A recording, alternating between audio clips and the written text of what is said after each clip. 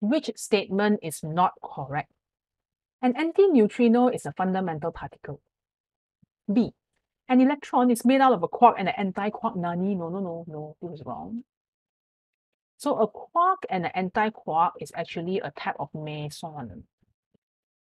Or basically, it's not an electron now, okay? Neutrino is a lepton. Neutrino is a lepton, yep.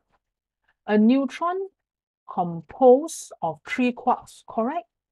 Because a neutron composed of two down quarks plus one up quark. Okay? Neutrino is a lepton. Other so when you see lepton, right, there are two types. One is either electron or neutrinos. Either one. So this is also correct. Antineutrino is a fundamental particle. Yes, it is. So the answer is B. Okay, so when we classify particles, I'll just quickly show you the table first. So here is a table of the standard model of the elementary particles. Nah, nah, all this lah.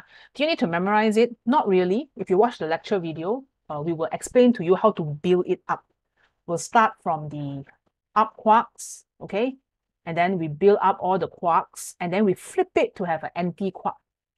These are leptons. They are very light, not much mass. So these are all leptons, and then you also have the anti-particles here. So in other words, right, if you want to think about hadrons, heavy, H, heavy particles is affected by strong nuclear force. Lepton is light particles, they are not affected by strong nuclear force. So leptons are electrons and neutrinos. Hadrons consist of baryons and meson. So baryon got three quark law, the popular one, proton, neutron. The not so popular one is like sigma. And if you go on Wikipedia page, there's a whole list of possible baryons, but we only care about proton and neutrons because they are the predominant ones in the universe. Okay, for meson, it is one quark and one antiquark. Okay, so you sort of need to know uh, the structure of this and also the fact that we have antimatter as well. And because of this, we can anti all of these things, anti-proton, anti-neutron. Okay, so this is uh, a recorded lecture that you can watch to answer the question, to answer statement questions like this. All right facts is facts. So, all right, that's it for this paper and for this question.